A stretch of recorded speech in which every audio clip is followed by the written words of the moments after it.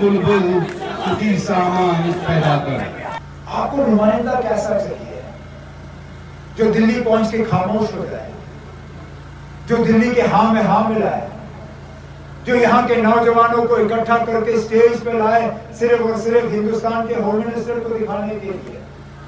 आपको नुमाइंदा वो चाहिए जो हमारे इतिहाद और इत्तेफाक में जो है, उसमें अड़चने पैदा करे।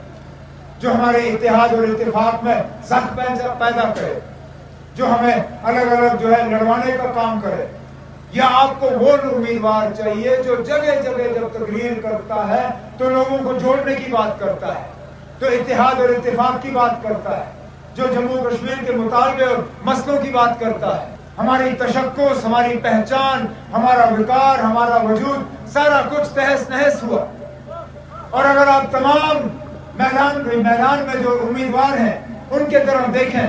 तो शायद आप भी इसी नतीजे पे आएँगे, जिस नतीजे पे हम आए, कि दिल्ली जाके आपके जज्बातों की तर्जुमानी अगर कोई लीडर कर सकेगा, वो नेशनल कॉन्फ्रेंस का उम्मीदवार जनाब आगा सैयद साहब।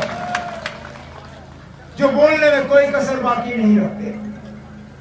जो आपके जज्बातों की तर्जुमानी करने में कोई कसर बाकी नहीं रखते। जो यहाँ के हालात के जो है, उन पर रोशनी डालने में कोई कसर बाकी नहीं रखते। क्योंकि मुतालबों की कमी नहीं है मुश्किल की कमी नहीं है। चाहे हमारे बेरोजगार नौजवानों के मुतालबे हों, चाहे हमारे तरक्की के मुतालबे हों, बिजली की मुतालबे हो, सड़क के मुतालबे हो, यहाँ पे डॉक्टर खुर्शीद बैठा हुआ है, पीएचडी स्कॉलर। इनसे पूछिए आज जनाब तालीम याफ्ता नौजवानों की क्या हालत है? जो पीएचडी करके हमारे नौजवान बैठे हुए हैं, आज उनकी क्या हालत? एक वक्त ऐसा था जब पीएचडी करने के बाद इनको असिस्टेंट प्रोफेसर की नौकरी जो है, वो मिल जाती थी। आज एक एक करके, एक एक करके असिस्टेंट प्रोफेसर तो दूर की बात। डॉक्टर खुर्शीद साहब, क्या ये सही नहीं है कि आज आपको नीड बेस पे? चंद वक्त के लिए जो है, आपको काम लगा देते हैं, इस्तेमाल करके आपको जो है ये छोड़ दिया जाता है। क्या ये आपकी हकीकत नहीं है, आज? ये सबका हाल यही है। किसको ये इस्तेमाल नहीं करते? किसको इन्होंने बेइज्जत नहीं किया? आगा सैयद रूल्ला साहब ने सही कहा, यहाँ तो हम अपनी सड़कें इस्तेमाल नहीं कर सकते, हम अपनी बिजली इस्तेमाल नहीं कर सकते। दरिया हमारी, आबो हवा हमारा, बिजली का प्रोजेक्ट हमारा लेकिन 40 साल के लिए हमारी बिजली जो है, वो राजस्थान को फराहम की जा रही है। क्यों यहाँ बिजली हमारे पास इतनी है? मुझे सर्दियों की महीने याद है।